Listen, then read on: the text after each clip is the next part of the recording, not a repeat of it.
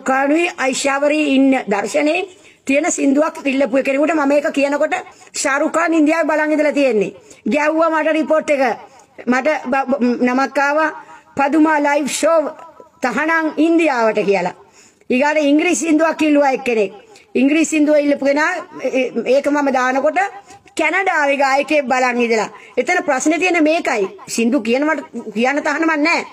මේ තරම් සෙනගක් බලනවා නම් උන් හිතන් ඉන්නේ උන්ගේ සින්දු මම විකුණගෙන කියලා. නමුත් ඒ තරම් සෙනගක් බැලුවේ නොමිලේ. එදත් නොමිලේ අදත් නොමිලේ.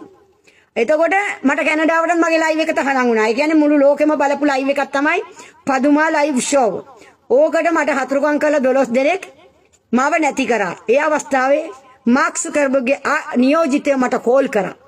අර හැමදේම කිව්වා කියන්නේ මේ දරු තුන් දෙනා ගොළුව පල්ලා කාලි මෑණියන්ගේ ඔළුව පල්ලා බුදුහාමුදුරන්ගේ සිරස පල්ලා ලෝකේ ඉන්න සියලුම දෙවියන්ගේ ඔළුව පල්ලා මා සුකර්බර්ග්ගේ නියෝජිතය මට කෝල් කරා.